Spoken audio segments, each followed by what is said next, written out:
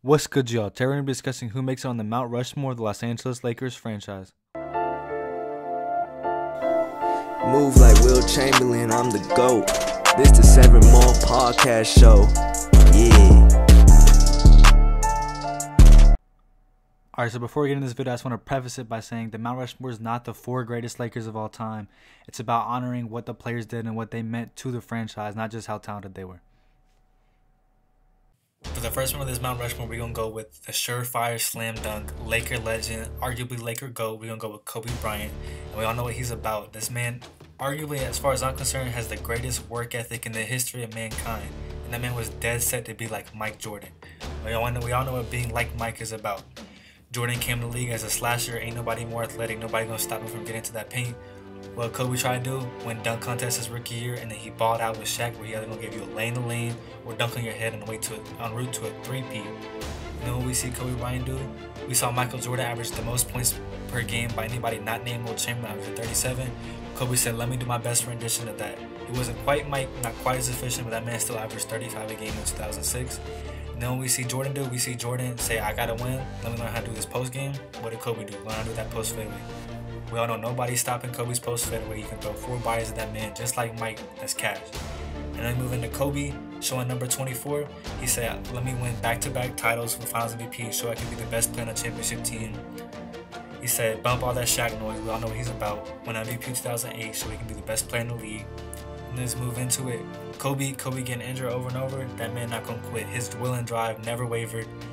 And then all that culminated, all that hard work culminated into an epic last game where he dropped 60 on the Utah Jazz's head.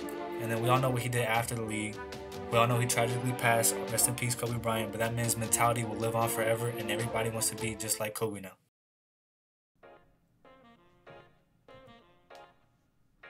Next up on the Mount Rushmore, we have inarguably, indisputably, undoubtedly the greatest passer of all time, Earvin Magic Johnson. The man, the myth, the engine that made the Showtime Lakers go.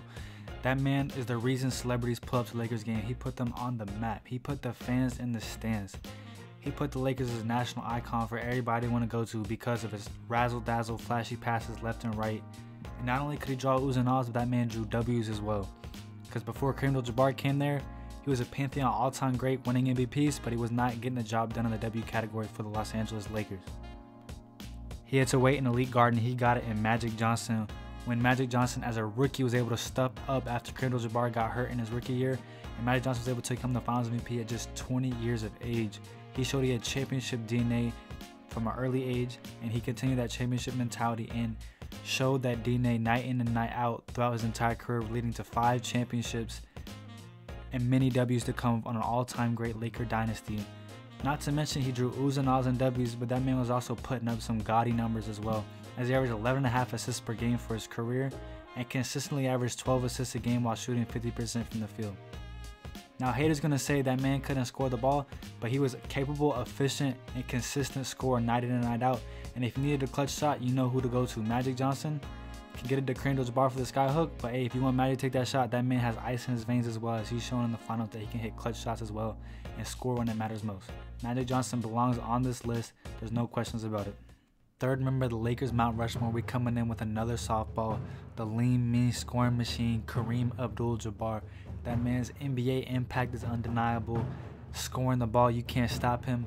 That man just as an entire whole of basketball is his legacy is just undeniable. And the Lakers so happen to be a very important chapter of his storied career where he won three regular season MVPs and five championships for the Los Angeles Lakers. And even though the very peak of his prime was at Milwaukee where he averaged 35 and 17, that man was still bomb when he came to LA and was still able to be an integral part of every single championship team because no matter how old he got, shoot, if he's 85 years old coming into the NBA, that sky hook is just so unguardable. That man's still gonna be able to give people buckets.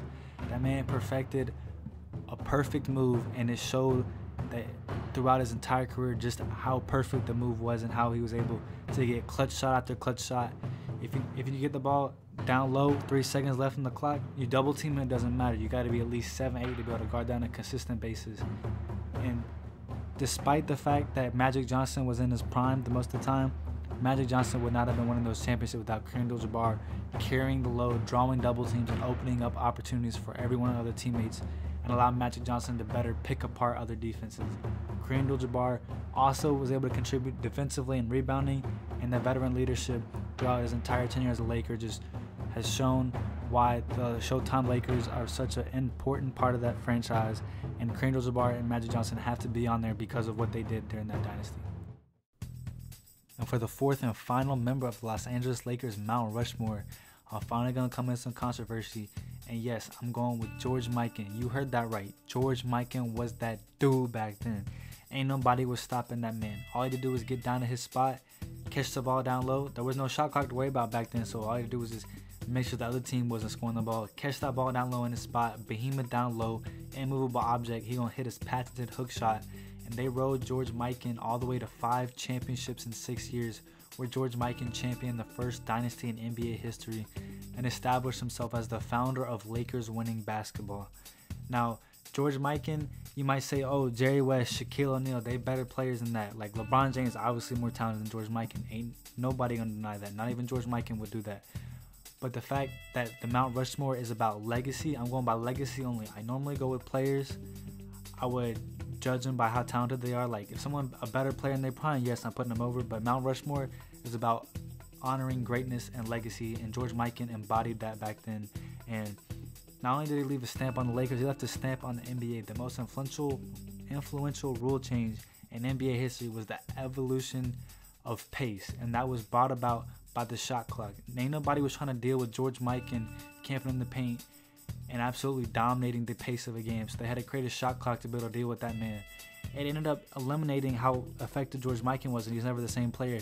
But before that rule change came, George Mikan was absolutely wrecking the league, and he has to be honored for that. And so for that, I'm gonna put George Mikan over Jerry West solely on the fact that that man was able to win championships upon championships.